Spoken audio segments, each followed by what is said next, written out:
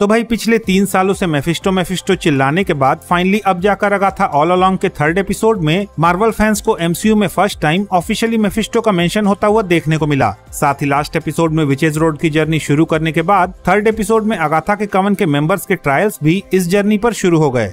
तो आइए third episode में दिखाए गए इन्हीं सारे पॉइंट्स के बारे में थोड़ा और डिटेल में बात करते हैं। हेलो गाइज़ मेरा नाम है अभिषेक और आप देख रहे हैं nerdy inside and this is the breakdown of third episode of Agatha all along so let's begin the show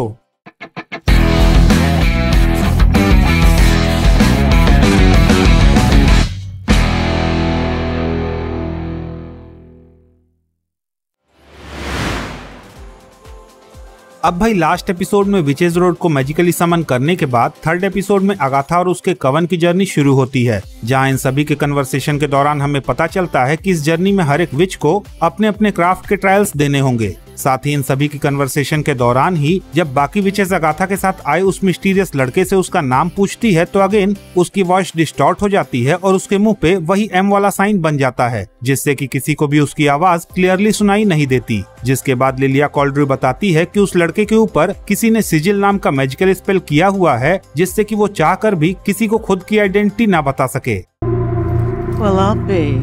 Someone's put a sigil on that boy. What? खैर विचेज रोड पे चलते चलते वो सभी पहुँचते हैं घर पे जिसकी एंट्रेंस पे मून के अलग अलग फेजेस की कार्विंग की गई है और सबसे टॉप पे हमें देखने को मिलता है फुल मून जिसका सिग्निफिकेंस हमें यहाँ तो नहीं पर एपिसोड में आगे जाकर पता चलता है The phases of the moon. It's full. The water phase.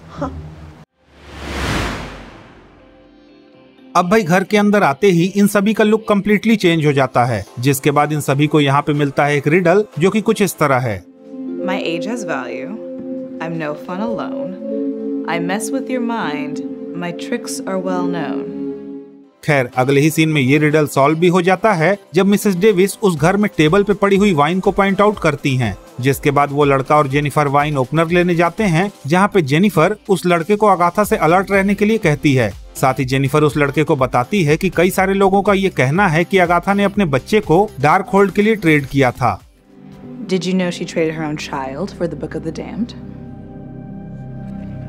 साथ ही वो कहती है कि अगाथा के बच्चे का क्या हुआ किसी को कुछ भी नहीं पता कि वो ज़िंदा है या डीमन बन गया है या फिर मैफिस्टो का कोई agent They say he might be dead. Others say he might be a demon or an agent of Mephisto. अब भाई सीरीज़ के फ़र्स्ट एपिसोड में ही हमें अगाथा के बेटे निकोलस स्क्रैच का नाम टीज किया गया था, जो कि मार्वल कॉमिक्स में डोरमामू के साथ साथ मैफिस्टो का भी एजेंट रह चुका है। खैर, इसके बाद उस लड़के को छोड़कर बाकी सभी वाइन को अपनी अपनी ग्लास में डालते हैं, जहाँ पे सबसे पहले मिसेस डेविस उस वाइन को पीती हैं, और उनके वाइन पीते ही एक थर्टी मिनट्स का टाइमर स्टार्ट हो जाता है।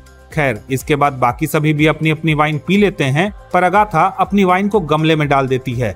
लेकिन भाई, उसके ऐसा करने पे भी उसे वाइन से छुटकारा नहीं मिलता और उसके ग्लास में वाइन मैजिकली रीअपियर हो जाती है। खैर, इसके बाद जिस किसी ने भी वाइन पी थी, उन सभी के फेस पे स्वेलिंग आने लगती है। एंड देन सभी को ये रियलाइज़ होता है कि अगाथा ने वाइन पी ही नहीं थी। अब भाई, क्योंकि इस रोड पे पूरे कवन को हर टास्क एक साथ करना होता है, सो सभी अगाथा को वो वाइन पीने के लिए फोर्स करने लगते हैं। लेकिन जब अगाथा वो वाइन नहीं पीती तो वो लड़का खुद वाइन पीने के लिए आगे बढ़ता है, जिस पे अगाथा उसे रोक कर ये वाइन पी लेती है। अब भाई, ये पूरा सीन दिखा रहा है कि कहीं ना कहीं अगाथा उस लड़के की केयर तो करती है। अब फिर चाहे वो अपने बच्चे की याद में ऐसा कर रही हो या फिर अपने रिग्रेट में, पर उसकी केयरिंग कहीं ना कहीं काफ़ी एविडेंट है। अब भाई इसके बाद सभी जेनिफर को एक एंटीडोट बनाने के लिए कहते हैं, क्योंकि वो ही इस कवन में पोषण विच है। सो वो किचन में पहुँचती है और सभी को नेसेसरी इंग्रेडिएंट्स बताती है, जिसके बाद सभी पूरे घर में इंग्रेडिएंट्स की तलाश में जुट जाते हैं। लेकिन भाई, इसी बीच पॉइजन का इफ़ेक्ट बढ़ने लगता है और सभी को अपने अपने पास्ट से कुछ इंपॉर्टेंट लोग दिखाई देने लगते हैं, जहाँ मिसेस डेविस के मिसेस हार्ट को वांडा विजन सीरीज़ से वांडा को उनके हस्बैंड को चोक करने का हेलुसिनेशन होता है तो वहीं एलिस को अपनी माँ के सुसाइड का। साथ ही लिलिया कॉल्ड्री को एक लड़की की मौत दिखाई देती है, जिसके पीछे लेडी डेथ खड़ी हुई है। तो वहीं जेनिफर को एक डॉक्टर जैसा कोई बंदा दिखता है, जो कि उसे डुबाकर मारना चाहता है। लेकिन भाई, सबसे इंटरेस्टिंग हेलुसिनेशन होता है अगाथा का, जिसे बेबी कैरेज में अपने बच्चे की जगह पे डार्क होल्ड दिखाई देती है, जो कि इंडिकेट कर रहा है कि कहीं ना कहीं उसके बच्चे के रिगार्डिंग जो रूमर्स हैं, उनमें कुछ सच्चाई तो ज़रूर है। एंड भाई, जिस तरह से अगाथा और इस लड़के का बॉन्ड हमें देखने को मिल रहा है हु नोज़ कहीं ये लड़का सीरीज़ में आगे चलकर अगाथा के बेटे के रूप में हमारे सामने ना आ जाए। खैर, इसके बाद घर की खिड़कियों से खारा पानी अंदर आने लगता है, जिसके बाद इन सभी को रियलाइज़ होता है कि ये घर समुद्र के अंदर है। और वो जो टाइमर घड़ी में चल रहा है, वो इसी पानी का घर के खिड़की और दरवाजे तोड़कर घर के अंदर आने का है।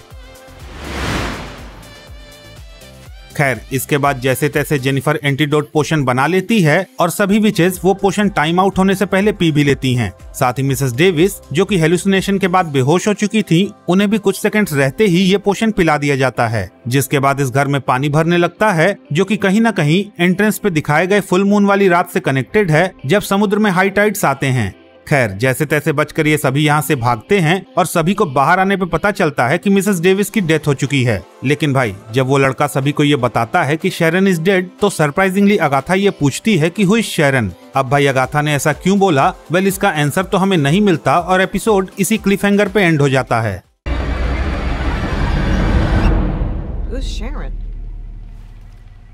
अब भाई शेरन की डेथ से लेकर इस क्लिफ हैंगर तक इन सारी मिस्ट्रीज के अनफोल्ड होने के लिए हमें नेक्स्ट एपिसोड का इंतज़ार करना पड़ेगा। लेकिन भाई, अगर आपको आज के इस एपिसोड का ब्रेकडाउन पसंद आया तो प्लीज़ इस वीडियो को लाइक कीजिए शेयर कीजिए और हाँ अगर आपके कुछ सजेशंस हैं तो please don't forget to comment और जाते जाते प्लीज़ इस चैनल को सब्सक्राइब करना भी ना भूलें। तो मिलता हूँ मैं आपसे अगली वीडियो में। तब तक के लिए have fun and enjoy the day